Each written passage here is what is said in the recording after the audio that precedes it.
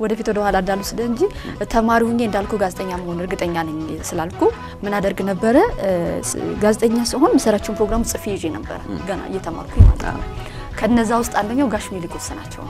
እንደውም ጓደኞቿን እየጠራችሁ የምታበላው ይሄ እውነት ነው፣ እውነት ነው። የነገረ ነው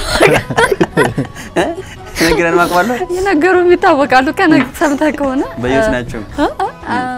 አይ ብቻ እንትን ደስ ይለኛል። እኔ ብዙ ውጭ የሚገኝ ሰው ነኝ ብዬ አላስብም። ከጋዜጠኝነት ይልቅ የመጀመሪያ ፍላጎቴ አዲስ አበባ ዩኒቨርሲቲ ውስጥ ገብቶ አካዳሚሻን መሆን ወደ ምርምሩ ወደ ጽሁፉ ማድላት ነበር። ግን ያው የህይወት መስመር ሆንና እየዞርኩ እየዞርኩ እየዞርኩ ሳላስበው ራሴን ጋዜጠኝነት ውስጥ አገኘሁት።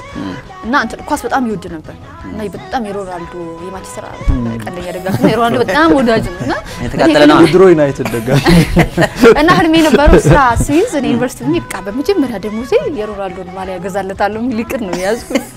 ዜን መንገድ ላይ ከብት እየፈለገች አንድ ሽማግሌ ታገኛለች እና አባደነው አሉ ትላቸዋለች። እግዚአብሔር ይመስገን ልጄ ምናምን ሲሏት አንድ ነገር ላስቸግሮት ነበር ትላቸዋለች። ምንድን ነው ሲሏት እንደው እባክዎት ተባበሩኝ ይግደሉኝ። እንኳን ለጌታችን ለመድኃኒታችን ለኢየሱስ ክርስቶስ የትንሣኤ በዓል በሰላም አደረሳችሁ። ይህ የሀገሬ ቴሌቪዥን የጠያቂው ሲጠየቅ ፕሮግራማችን ነው። የዛሬ የዚህ ፕሮግራም እንግዶች መስከረም ጌታቸውና ይነገር ጌታቸው ነን። አብራችሁን ስለምትቆዩ እናመሰግናለን።